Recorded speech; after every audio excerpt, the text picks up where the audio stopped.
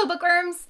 Today I'm going to be doing my June TBR video. These videos, like these end of month videos, are going to be a little bit out of whack because I'm going to Book Expo and BookCon and the end of May is the first day of BEA and I hate filming wrap-ups before the actual last day of the month because I like reading up until the last day of the month um, to make sure that I like cover everything. So I'm gonna wait and film those when I get back from Book Expo, but for now, I'm gonna film my TBR because I know what books I want to read next month, so I can easily do that. So these are the things that I have on my list. First is A Conjuring of Light by Victoria Schwab, um, or by V.E. Schwab. This is the third and final book in the uh, Shades of London series.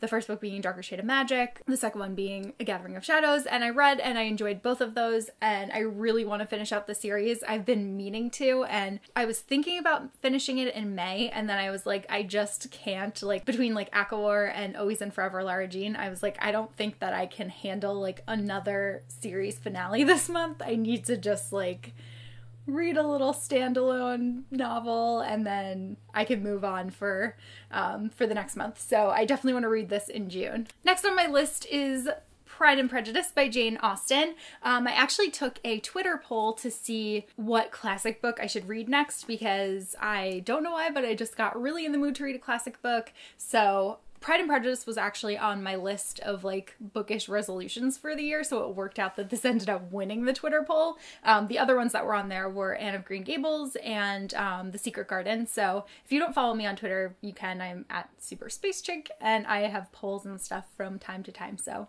um, you can vote next time if you missed it this time. But I am definitely planning on reading this. I'm really excited that it got chosen, and I cannot wait to finally read a Jane Austen novel. Next on my list is The Names They Gave Us by Emery Lord.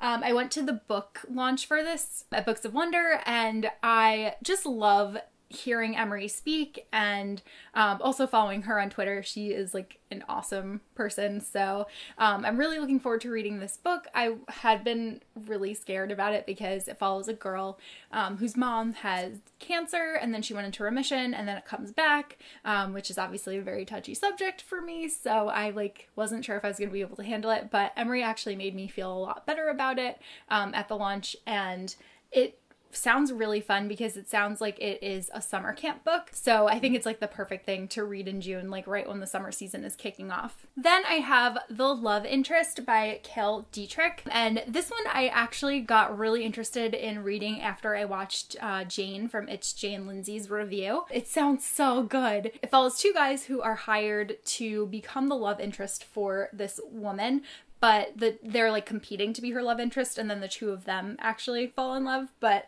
from what she said it sounds like it covers so many different um, genres of YA, and it like makes fun of the t- the like tropes that we typically see. Um, and it just sounds like she made it sound so good, so it got me really excited for it, and I immediately ordered a copy after watching her video. So I'm really looking forward to getting to this one. And then the last thing that I have on my TBR for the month is the second volume of Fruits Basket, which is a manga series. Um, there they finally just came out with the last uh, collector's volume. These editions are so beautiful. I love them. Like, I love the spines. They just look so nice. So I got all of them.